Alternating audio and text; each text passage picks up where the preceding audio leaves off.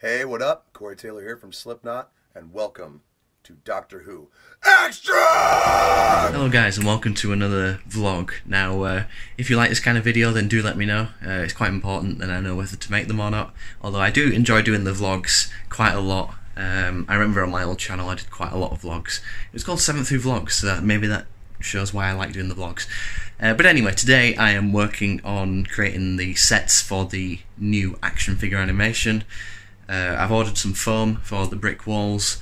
But yeah, essentially the sets are kind of going to be completely scratch made and not just printed out from the Action Figure Theatre site because, like I said before, they were good for the time. But I mean, when you have a HD camera, uh, you can see all the uh, the print lines and stuff, and that that's no good when it comes to filmmaking. You want it to feel as real and as visceral as possible. So anyway, I'll show you what I'm doing so far. So I'm using the Action Figure Theatre um, printout as a template, but I am cutting out the window frames, and I'm going to be spraying this white just to so it's actually the the frame color, and then I'm going to be getting some transparent foggy plastic and uh, some brick texture for uh, the blue part. So yeah, guys, I'm kind of just sat here thinking, do you guys want to see more action figure reviews because they do seem to get a lot of attraction on uh, this channel. I was want, I've always wanted to have like a review setup just so it's really easy for me to actually film reviews because that's one of the things which puts me off because I always end up having to move things out of the way and stuff and I don't have a permanent setup.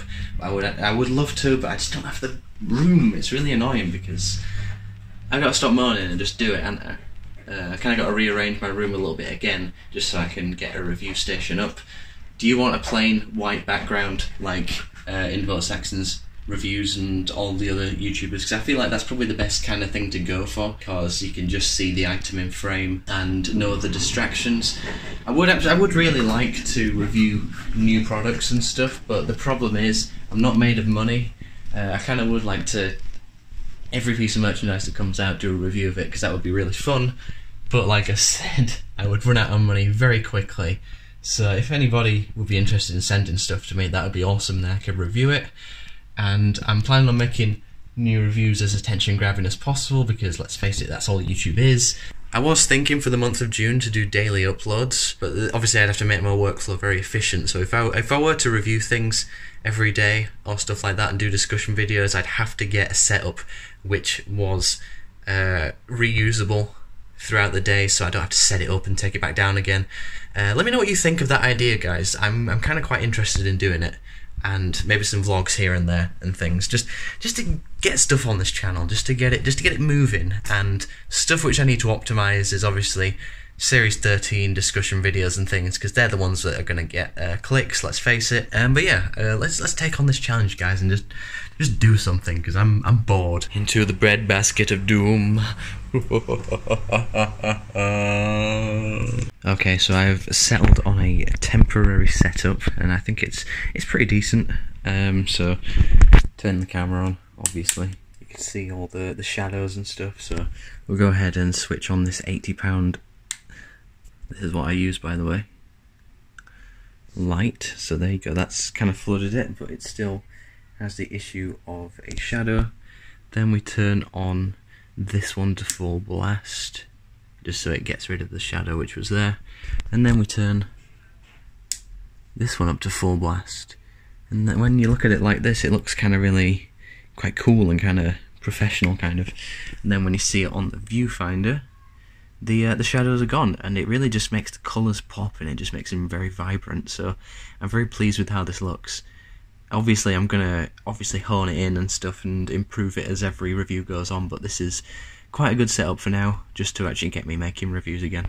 Oh yeah and these two are 25 pounds each. Uh, they're adjustable so you can adjust the brightness and the temperature. So this is like a bluey colour just to get rid of all the oranges so right now I'm going to be doing a dummy review and I think that's probably going to be the title of this video.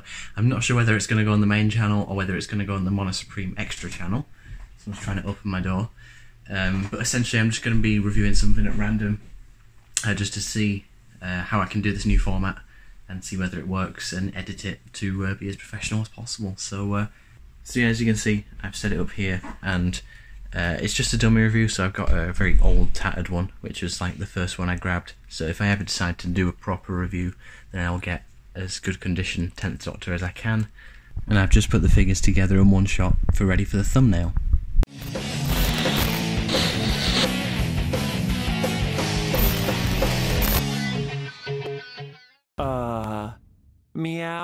Hello YouTubers and random people of the internet, it is me, Ozzy, one part of the Mono Supreme YouTube channel, and today we're going to be taking a step back in time and looking at the 10th Doctor in trenchcoat figure from way back in 2006. So without further ado, let's take a look at the packaging. Overall you can see it's done in that gorgeous orange and blue motif which they used on all of the Rusty Davies era merchandise. I do really miss this, I think it pops out very well. I don't think it's just a nostalgia thing, I think it genuinely complements the toy line very well. Uh, and yeah, they did try and recreate this with the Capaldi 3.75 inch figures, but I don't know, it just didn't capture this early 2000s magic. So, on the top left hand corner of the packaging, we have Posable Action Figure Set, which is kind of confusing because it's not a set. Maybe it just means the range, but uh, I don't know, they were still getting used to the action figure thing at this point, so I can't really blame them.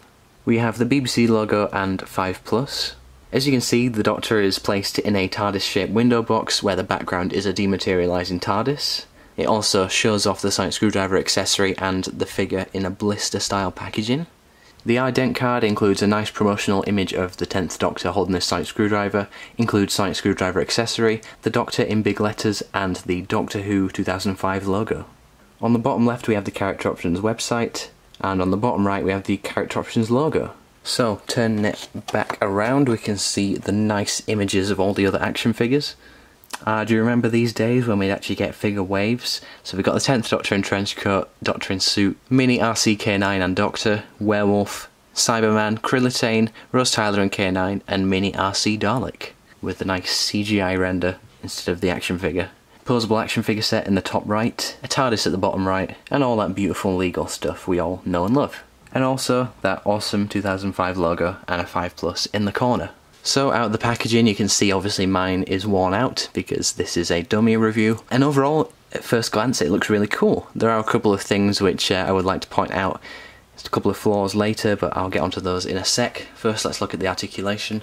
The head can move left to right, but as you can see, if you turn it too much, it'll get uh, damage on the neck, so best not do a 360. The shoulders can do a 360, not a ball joint, unfortunately, and the elbows can do 90, and I wouldn't advise moving the wrists. I'm sure they probably could move, but uh, they've snapped off in the past, so I wouldn't advise it. The waist doesn't actually move. That's a surprise, I thought it did.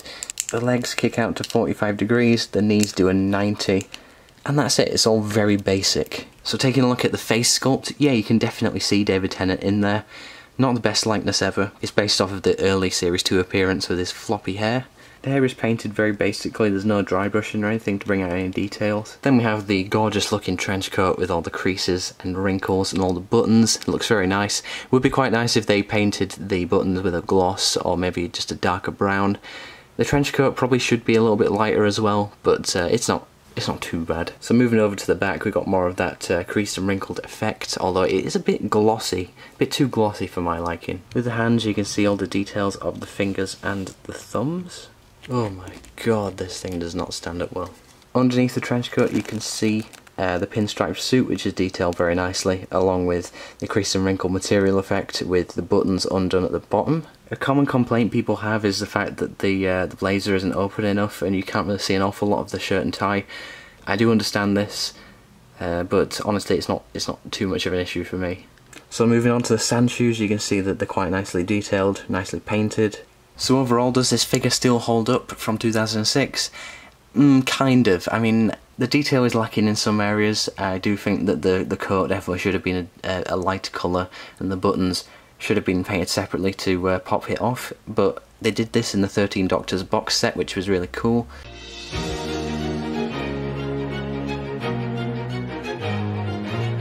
See, I hope you enjoyed that little dummy run, guys. As you can tell, it cut off at the end, but um, I can't really be bothered emptying my SD card just for this little dummy review. Um, but like I said, I'll, I'll, end up redoing this at some point with a proper David Tennant figure, one that's not all damaged and stuff, so you, you guys can see that on the main channel. Yeah, I've decided to put this on the secondary channel as the first video, just to just to see how it does. But yeah, this uh, obviously there were things wrong with it. I think the lighting wasn't perfect. Uh, it's quite difficult to get the camera to focus on an action figure, so that's something I'm going to have to work on. I've always had a problem with that, but uh, I'll figure it out eventually, guys.